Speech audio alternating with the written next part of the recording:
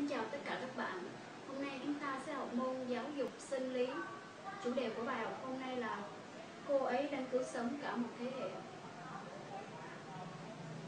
Nghiên cứu đã chỉ ra rằng nếu nắm được phụ nữ vài phút trong một ngày sẽ giúp đàn ông tăng thêm 5 năm tuổi thọ. Các nhà khoa học người Đức đã nghiên cứu và đưa ra nhận định rằng nếu đàn ông nắm được phụ nữ thì sức khỏe của họ sẽ tốt hơn, đồng thời tuổi thọ của họ sẽ kéo dài thêm. Theo họ thì việc làm này giống như là một thói quen và có lợi ích như một chương trình tập thể dục và việc nắm được phụ nữ có thể giúp cho người nông tăng thêm 5 năm tuổi thọ. Phụ nữ mặc áo khoác chật hơn 12 giờ mỗi ngày sẽ có nguy cơ phát triển bệnh ung thư vú cao hơn những người thường mặc áo cổ rộng.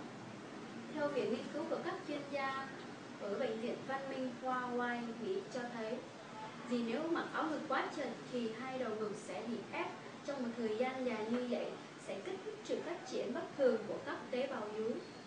Và tôi nghĩ không nên mặc áo ngực thì càng tốt.